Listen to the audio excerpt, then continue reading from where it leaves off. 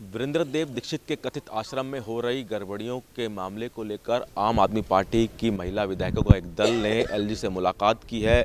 LG से आप लोगों ने मुलाकात की है, जो वीरेंद्र देव दीक्षित का जो कथित आश्रम है, उसकी जो गड़बड़ियों की बातें सामने आ रही हैं, उसको लेकर क्या आप लोगों ने बात रखी है और किस तरह का आप लोग एक्शन चाहते हैं? देखिए, लगातार आम आदमी पार्टी इस बात को कह रही है कि महिला सुरक्षा दिल्ली में बिल्कुल चरमराई हुई है।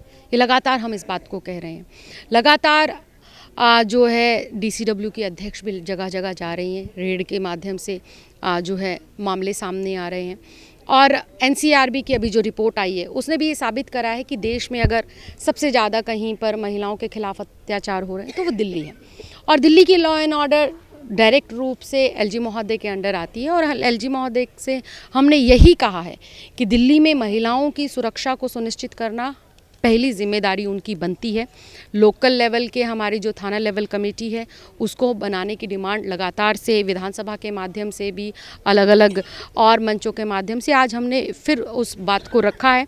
महिला थाना हर एक ज़िले में होना चाहिए, हमने ये बात भी उनके आगे रखी। है और दिल्ली के अंदर चाहे शराब माफिया है चाहे आपका देह व्यापार माफिया है या और कोई माफिया है ये माफिया कहीं पर भी जब तक अपना काम आ, नहीं कर पाएगा जब तक लोकल पुलिस का उनको साथ नहीं मिलेगा।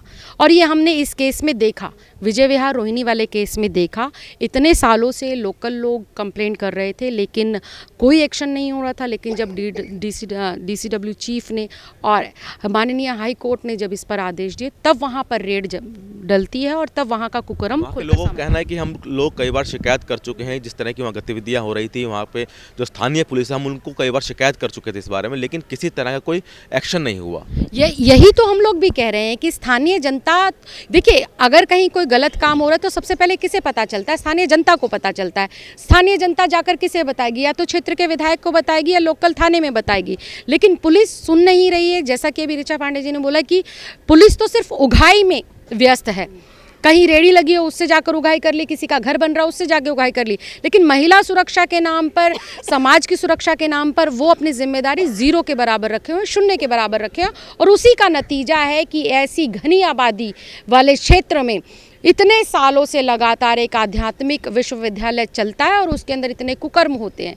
ये क्वेश्चन मार्क लगाता है हमारे धार्मिक हिंदू धर्म के ऊपर भी हमारे समाज के ऊपर भी और हमने एलजी साहब को बिल्कुल इस बात को पुरजोर तरीके से रखा है कि दिल्ली के अंदर जितने भी आश्रम हैं बाबाओं के सबकी जाँच होनी चाहिए सबकी जो है बाबा, आ, सभी बाबा आपने कहा मतलब सिर्फ़ वीरेंद्र देव दीक्षित या फिर और जितने भी बाबा हैं सब? हम हम किसी पर ये जो वीरेंद्र देव दीक्षित जी का पता चला है कि पालम में भी निकला है तो ऐसे अलग अलग विधानसभा अलग अलग दिल्ली के और इलाकों में भी होंगे। हम ये कह रहे हैं कि बारीकी से छानबीन करी जाए, कहीं पर भी उनका ये इस तरह का आश्रम चल रहा है, उसकी जो है पूरी की पूरी छानबीन होनी चाहिए, खोजबीन होनी चाहिए। तो आम आदमी पार्टी के विधायक दल ने एलजी से मुलाकात की है और साथ ही साथ दिल्ली में महिला सुरक्षा में जो लापरवाही हो रही है, उसको लेकर सवाल खड़े कर रहे हैं और साथ ही साथ इन्होंने ये भी एलजी से मांग की है कि वीरेंद्र देव दीक्षित के दिल्ली में जितने भी आश्रम हैं, उनकी जाँच गहनता से होनी चाहिए। कैमरामैन रोहित के साथ विनय सिंह टोटल न्यूज़ दिल्ली।